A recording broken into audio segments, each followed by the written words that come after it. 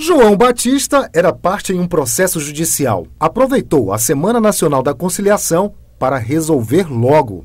Era um problema de questão financeira e aí foram chamadas as partes né? e a gente conseguiu resolver num curto período de tempo o, achar a solução do problema.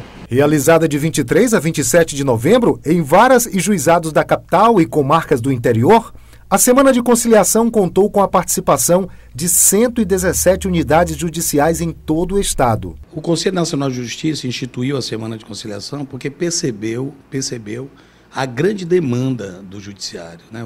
a, a quantidade exagerada de processos. E como diziam os antigos, é preferível uma, um mau acordo do que uma boa demanda.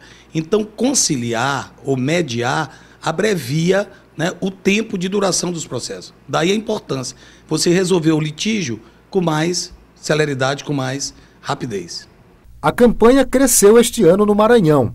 Em 2014, foram feitos 17.383 atendimentos.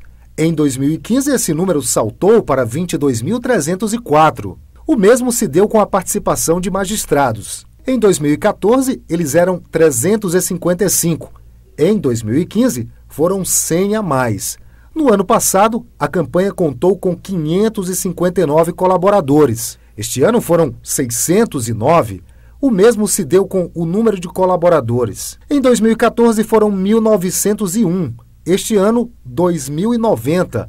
Quanto aos juízes leigos, houve redução. Ano passado, eles somaram 32. Na edição de 2015, foram oito. Os valores homologados este ano também ultrapassaram os registrados na edição da Semana da Conciliação do ano passado. Em 2014, os números atingiram R$ 3.766.154,50. Este ano foram R$ 4.229.066,22.